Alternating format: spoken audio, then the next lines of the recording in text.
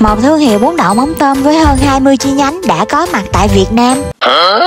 Ủa lộn, tại Mỹ Tho mới đúng chứ? Xách ba lô lên và đi cùng tụi mình nghe. Hello mọi người, tụi mình làm gì ở Mỹ Tho nè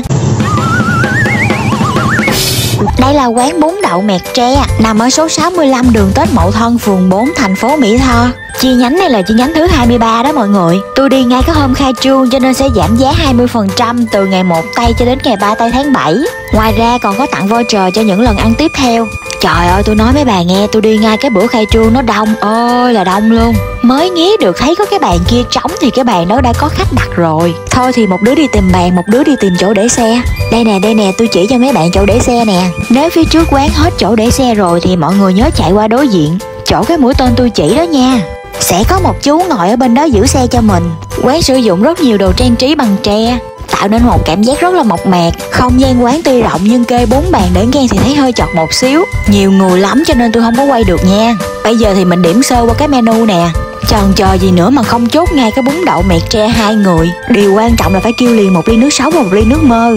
Quán không có khăn giấy khô mà sẽ có khăn giấy ướt. Trong lúc chờ đợi chúng ta sẽ đi pha nước chấm. Cái mắm tôm của quán pha tôi thấy nó hơi mặn một xíu.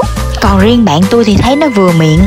Vì vậy theo cái thói quen tôi sẽ nặng hai trái tắc. Nói chứ mấy bạn pha từ từ thôi nha. Tôi tính cắt nguyên trái ớt nè Nhưng mà hên quá cắt có nửa trái mà nó cay muốn xỉu. Tèn tén ten Sau thời gian chờ đợi thì em nói cũng về với tôi nè mọi người ơi. Một phần bún đậu mẹ tre sẽ gồm có Đậu hũ, thịt chân giò, chả cốm, nem chua rán, dồi sụn bún và rau. Về phần rau sẽ là dưa leo, xà lách, tía tô, rau húng. Quán làm liên tục luôn cho nên các món chiên đều đóng hỏi Phải tranh thủ ăn liền để cắn được cái lớp giòn bên ngoài nha. Cái miếng đậu hũ bên ngoài giòn bên trong mềm nóng hổi nhưng mà có điều chưa có được béo. Ở cái phần dồi sụn, cái phần sụn bên trong có chỗ mềm chỗ cứng cho nên phải cắn từ tốn thôi nha. Nem chua rán và chả cốm lúc nào cũng là hai cái vedette mà tôi thích nhất ở trong cái phần bún đậu mắm tôm. Nè nè nè mọi người coi cái miếng thịt đi.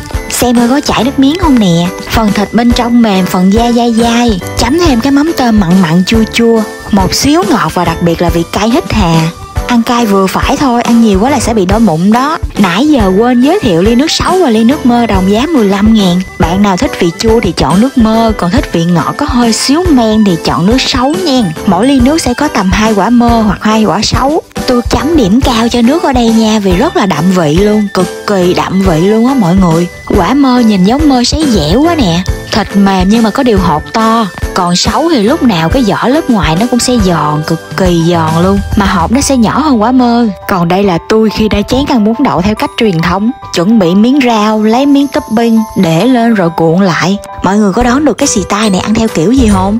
Nói chứ mấy quán mới khai trương thường rất là đông khách. Mấy bạn phục vụ chạy tới chạy lui liên tục, Nhưng mà không có ai quạo hết trơn nha, Rất là dễ thương luôn. Có điều những ngày đầu mọi người sẽ đợi hơi lâu một xíu nha. Quán sẽ mở cửa từ 9 giờ cho tới 21 giờ. À phần rau thêm với nước chấm là hoàn toàn miễn phí. Còn bây giờ tôi sẽ chỉ đường cho những bạn chưa biết đường đến quán. Hiện tại các bạn đang đi trên đường Lý Thường Kiệt, Bên phải chúng ta là bản vàng. Đây cũng là một địa điểm mà các bạn hay hẹn nhau nè. Rồi, các bạn chạy thẳng lên một xíu gặp ngã tư. Giao giữa đường Tết Mậu Thân và đường Lý Thường Kiệt các bạn sẽ quẹo phải chạy về hướng hồ bơi thành phố. Đây nè, ngay cái chỗ mắt kính điện biên phủ nè, các bạn quẹo vô nha. Chạy một xíu à nhìn bên tay trái là sẽ thấy quán. Nằm ngay vị trí của quán cơm niêu cũ.